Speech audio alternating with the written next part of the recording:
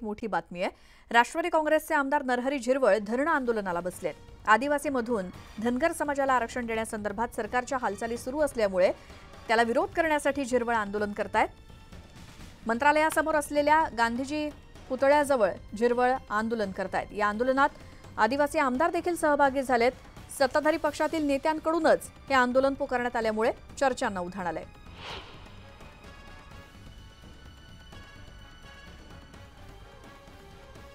त्याच्यामध्ये ज्या काही गेल्या काही दिवसांमध्ये जाणीवपूर्वक आडकाठी आणली जाते किंवा त्यांना जाणीवपूर्वक आंदोलनासाठी उद्युक्त केलं जात आहे असं वाटतं का? जे प्रकरण न्यायालयानं निकाली काढलेलं आहे त्या प्रकरणाला पुन्हा म्हणजे शिळाकडीला ऊत पुन्हा का आणला जातो त्याचं ते तोच एक संशोधनाचा भाग आहे. का सुप्रीम कोर्ट हे सर्वोच्च कोर्ट.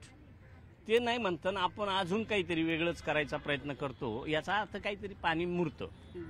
पण मग आता तुम्ही समाज बांधवांना काय सांगू इच्छिता आज या आंदोलनाच्या माध्यमातून? आणि शासनाला तुम्ही काय इशारा देऊ इच्छिता या आंदोलनाच्या समाजा शासनाला तर आता इशारा देण्यासारखं माझ्याजवळ काय राहिलंय आमच्याजवळ काय राहिलंय? हा इथवर आम्ही आलोय हे शासन पाहतं शासन ऐकतं. तर त्याच्यावर शासनानं विचार केला पाहिजे. आणि समाज बांधवांना काय तुम्ही? समाज बांधवांना माहीत आहे का आम्ही कित्येक वर्षानुवर्षापासनं ह्या भरतीच्या संदर्भातलं रिझर्वेशनच्या संदर्भातलं किंवा वेगवेगळ्या सामाजिक अडचणी येतात त्याच्यासाठी आम्ही सगळेच्या सगळे एक विचारानं मग आमदार असतील खासदार असतील माजी आमदार असतील माजी मंत्री असतील सगळेजण आम्ही एकत्र येत असतो. आज आता कॅबिनेटची बैठक खरं तर सुरू आहे. अपेक्षा आहे तुम्हाला की आज आजच्या बैठकीनंतर काहीतरी निर्णय होईल? कारण दोन्ही उपमुख्यमंत्री मुख्यमंत्री या ब- बैठकीला हजर आहेत. अगदी मंत्रालयामध्ये का- काही मीटर अंतरावर हे ही बैठक चालू आहे. आणि अगदी तुम्ही इथे आंदोलनाला बसलेला आहात. काय अपेक्षा आहे तुमच्या? अपेक्षा आमची हीच आहे ना का बाबा किती वेळ बसवायचं? हे सरकार मायबापच्या हातात आहे. त्यांनी लवकर आम्हाला मोकळं करावं. त्या मुलांना ऑर्डर द्याव्यात. आणि जे धनगरांच्या संदर्भात रिझर्वेशन आदिवासीत देण्याच्या संदर्भातली जी काही चर्चा आम्ही बाहेर ऐकतो त्याच्या बाबतीत आम्हाला स्पष्ट खुलासा करावा ना? काय तो? नक्की. धन्यवाद आमच्याशी संवाद. साधल्याबद्दल. तर आपण पाहतो आहोत की या ठिकाणी नरहरी झिरवळ यांचं म्हणणं आहे की आमच्या मागण्या या रास्त मागण्या आहेत आणि रास्त मागण्यांसाठी हे आमचं बेमुदत आंदोलन सुरू राहणार आहे. शासनानं आता निर्णय घ्यावा की आम्हाला कधीपर्यंत या ठिकाणी आंदोलन करायला ते भाग पाडतात. व्हिडिओ जर्नलिस्ट उमेश गोविलकरसह प्रणाली कापसे न्यूज एटीन लोकमत मुंबई. यानंतर आणखी एक मोठी बातमी आहे कोल्हापुरातून. कोल्हापूर जिल्ह्यामध्ये भाजपला पुन्हा एकदा खिंडार पडण्याची शक्यता आहे. भाजपचे नेते शिवाजीराव पाटील तुतारी हातात घेणार अशी जोरदार चर्चा राजकीय वर्तुळात सुरू आहे. शरद पवार यांच्या पक्षाकडून पाटील यांच्याशी संपर्क झाल्याची माहिती मिळते. शिवाजीराव पाटील देवेंद्र फडणवीस यांचे निकटवर्तीय मानले जातात आणि भाजप नेतृत्व कोल्हापूर जिल्ह्यामध्ये लक्ष देणार की नाही असा सामान्य कार्यकर्त्यांनी सवाल केलाय.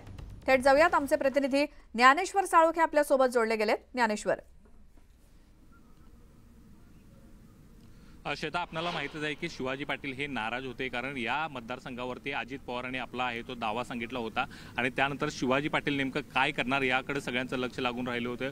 अखेर शिवाजी पाटील यांना आता राष्ट्रवादीकडून संपर्क आहे तो करण्यात येतोय. शरद पवार गटाकडून त्यांच्याशी संपर्क झाल्याची सूत्रांची माहिती आहे. त्यामुळे शिवाजी पाटील हे हातामध्ये तुतारी घेण्याच्या तयारीत असल्याची माहिती आहे ते मिळते. आणि त्यामुळे भाजपला दुसरा एक धक्का आहे तो कोल्हापूरमध्ये.